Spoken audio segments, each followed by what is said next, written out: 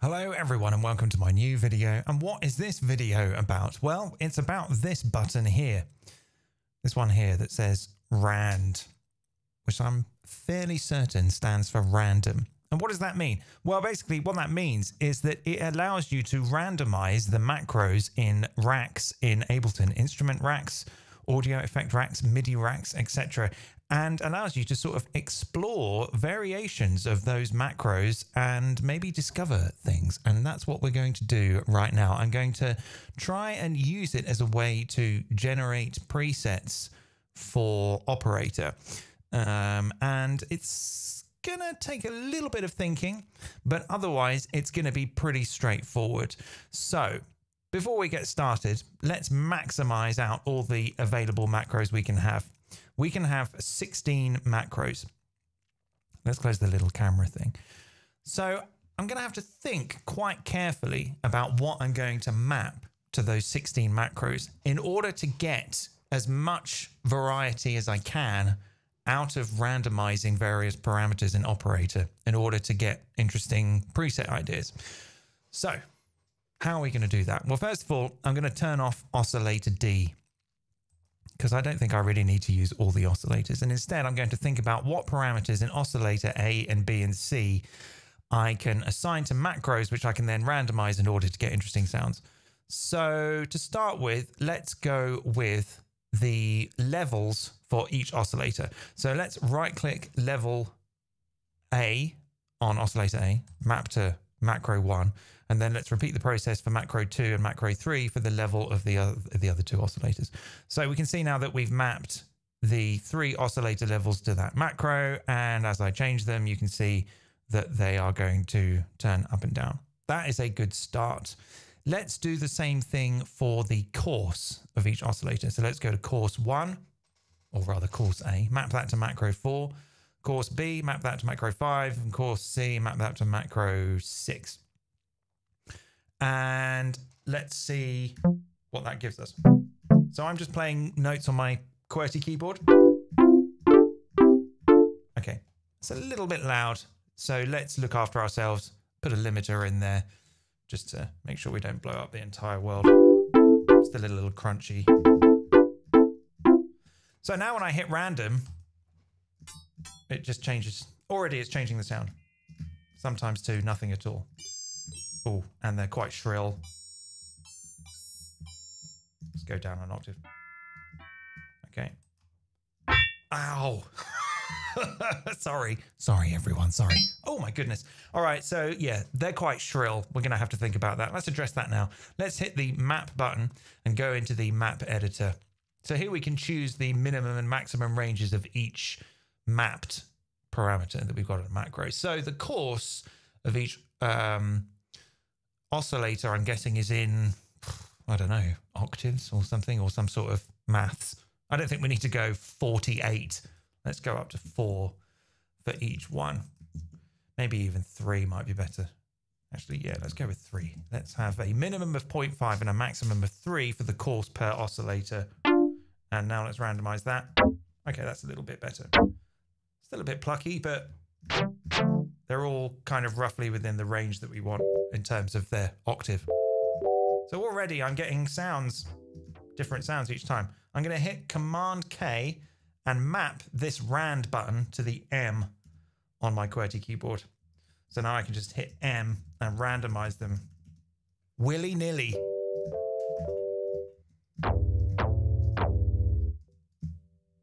Okay, sometimes we're going to get nothing.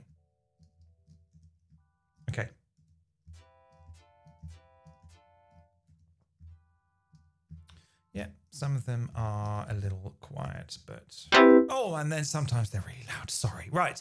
So let's think about what else we can do. Um, so actually, you can see that I've got some uh, macros here already named because um, this is actually the second take of this video. So um, that's fine. Um, I'm actually glad I did that because that's reminding me what I need to do. So let's think about what else we can do and uh, you know what uh, what is going to make an impact on the sound of each oscillator well certainly it's amplitude envelope so i'm going to map the three stages of the uh, amplitude envelope for each oscillator but to one macro um, which is going to give us some stuff to think about. But let's um, let's address that in a minute. First of all, let's just map the attack to OSC1 amp and the decay to OSC1 amp and the release to OSC1 amp.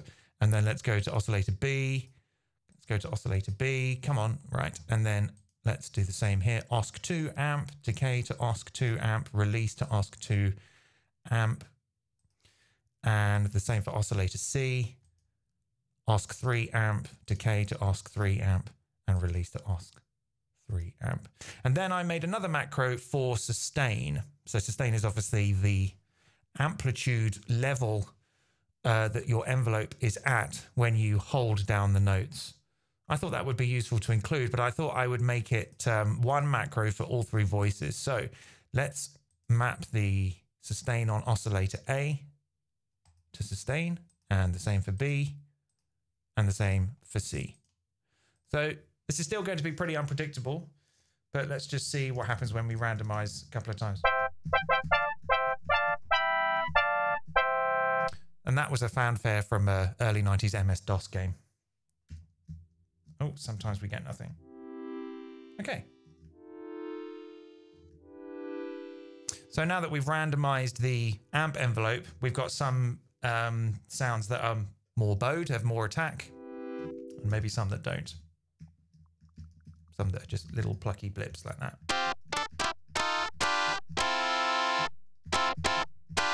Okay, that's good. But um, yeah, still a couple of things I think I'd like to address there. Back into the map editor. And the thing is, the the envelopes in Ableton um, can be quite long. They can go on for quite a long time. So, for example, the release time can go on for 60 seconds, as can the decay time. That's quite long. And the attack time is 20 seconds. That's a little bit long. So we're going to get a little bit fine tuny here.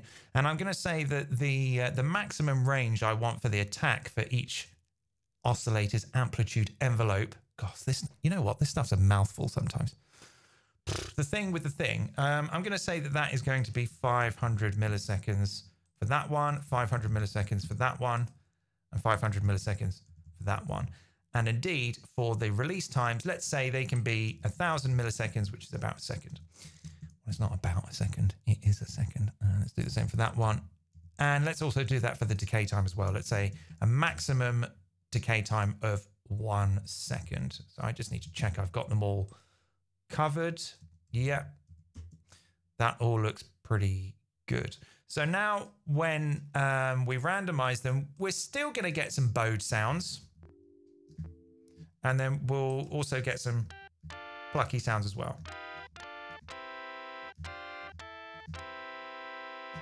Okay, great. Uh, it doesn't end there though, because there's this button here. This is the algorithm for operator. This is how each of the three oscillators modulate each other. So if we randomize this, then we're going to get a different, you know, modulation operator, FM operator each time we do that. So let's macro that to macro 16. So the nice thing about doing it with um, one parameter is that it actually shows you the parameter name uh, when you macro it. But for uh, macros that have multiple parameters, then it won't. So you'll have to name it and it will only give you a range of 0 to 127. Whereas other things, for example, here, like these uh, oscillator levels, it shows you the level in dB, which is very good. Anyway, let's randomize that and see. Wow. Randomize again.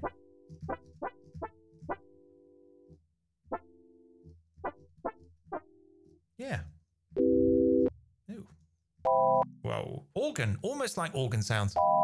It's not a bad sounding organ. Okay.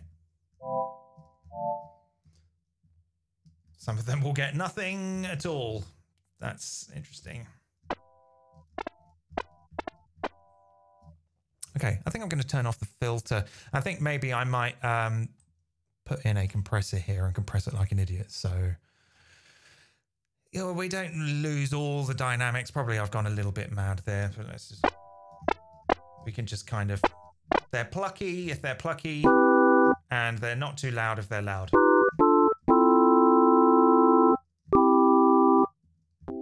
Yeah. So I can just keep hitting random and get different presets. Uh, but it doesn't end there. No, there's still more to do. Um, we can also, I've got five macros left. I'm going to save seven and eight for something else later. But for macros 13, 14, and 15, I'm going to map the actual oscillator wave type for each oscillator to its own macro so that we can randomize the wave of the oscillator. So let's go to oscillator A and map that to macro 13. Let's go to oscillator B and map that to macro 14. And let's go to oscillator C and map that to macro 15. So now we can randomize um, the waveform for each oscillator.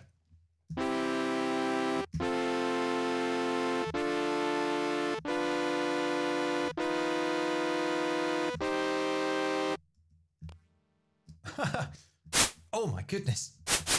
There we go.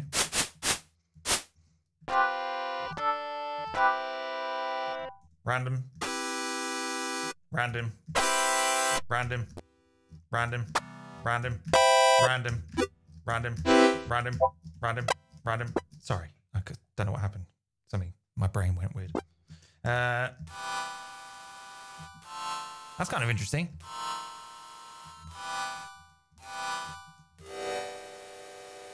So you can really hear that one of them's got a lot of noise.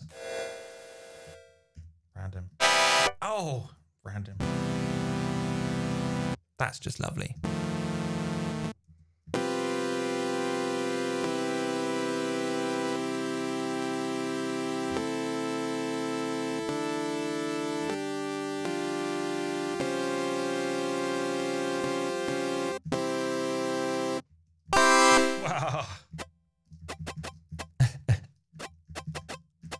Casio xylophone. Uh, right, so let's. We've got two macros left. Um, so why don't we maybe use those for some effects? So let's pull in the hybrid reverb. I'm going to put the hybrid reverb after the operator and before the compressor. Uh, I'm going to set the um, this thing to algorithm, and I'm going to map the algorithm to macro seven, and the. Ooh, do I want decay or size? Let's go with size. Let's map size to macro 8. And now we can just randomize a little dribble of reverb. Um, let's see what that's like. All right. See already, it's kind of interesting. Just sample that if you want. Put that in your drum machine. Hey.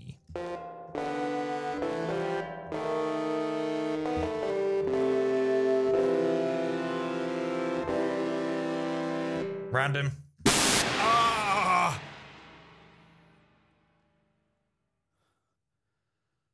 It's all right. I'm okay. I'm all right. I'm fine. I'm fine.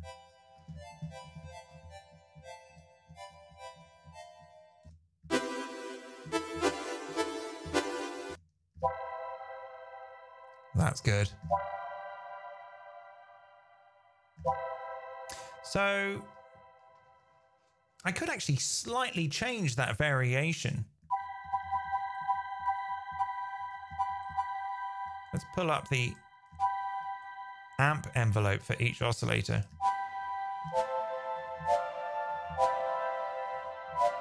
I could indeed change the wave.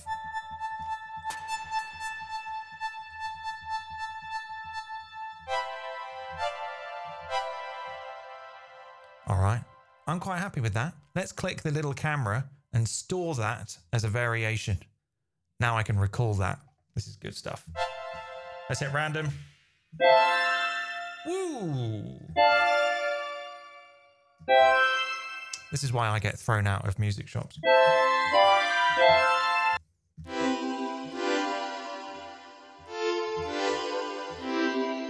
That's nice. Um, let's save that as a new variation. Just click new. Now we've got that as a, so now I can call up the previous variation or my new one. Beautiful. Let's hit random. Ah, no.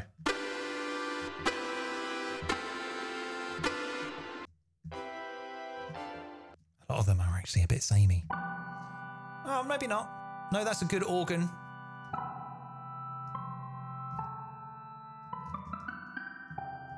Yep, save that. Random. Yep, that's good. Save that one. Couple more. Not that one. That's good. Save that. So yeah, now I can recall all those variations if I want. It's pretty cool.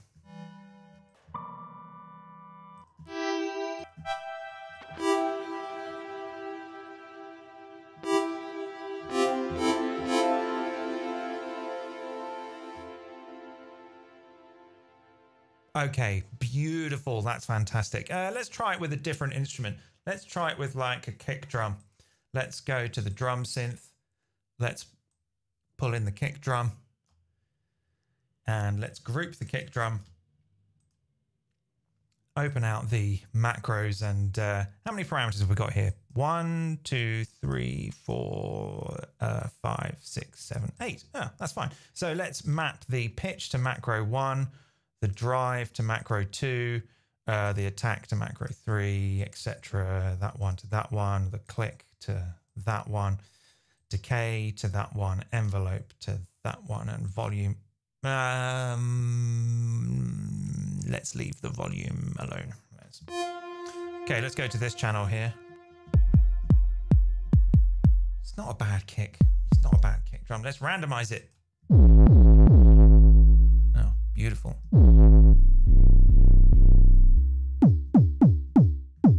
in some ways, it's actually um, quicker and more satisfying to do it with a device that doesn't have as many parameters.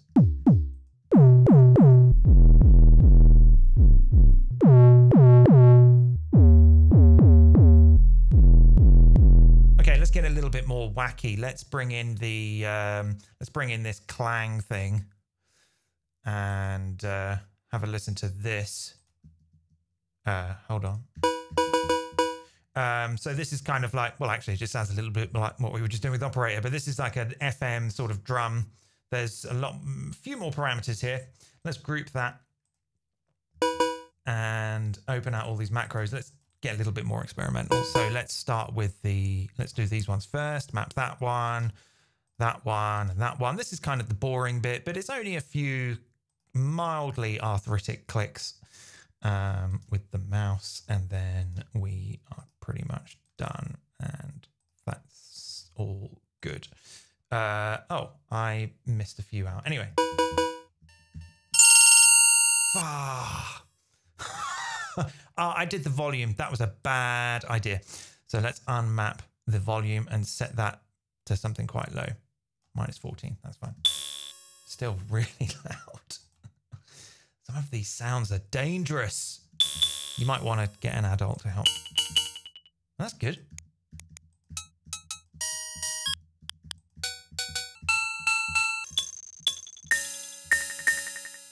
All right, um, let's uh, get the flanger in. Let's see if we can just make this really stupid. And let's turn the LFO down. Let's map this to macro 16 and the feedback to macro 15. Just randomize this.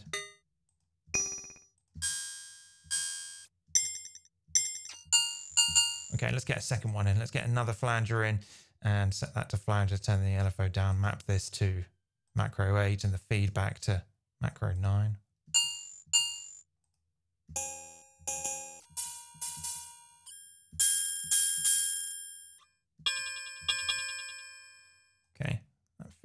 A little Let's maybe set the feedbacks, or maybe not even map the feedback. I don't know. It's just just riffing, just riffing. I'm jamming.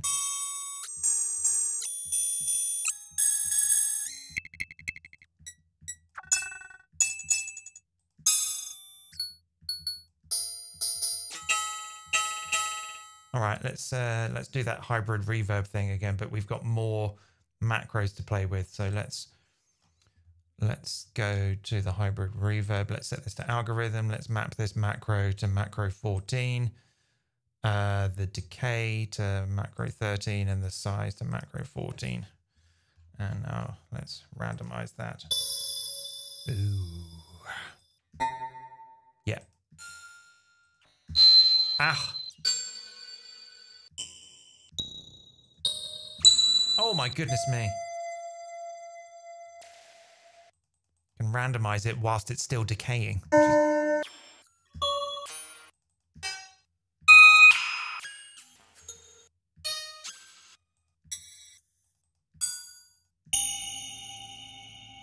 Beautiful. What a beautiful electronic crash cymbal. I gotta save that. That was great. See, this is what it's all about. That's just randomized and now I've saved it. So if I randomize it again, I can go back to that one. Fantastic. Okay, I think that's more than enough. But this is such a fruity subject, I will most likely revisit it again in the future. So there you go. Explore ways to randomize devices by mapping as much as you can, whether you do it intelligently or completely frivolously, I don't care.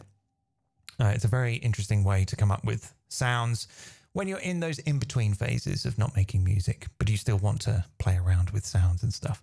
Then um, this is absolutely something that uh, can be explored and is very rewarding. Okay, so thank you very much for watching. Hope you enjoyed that. I'm going to go and put this set on my Patreon now where you can support me and get access to this set plus many other things and all kinds of other stuff, including community based things and uh, the Discord and other things and uh, things, things like subscribe and all those things.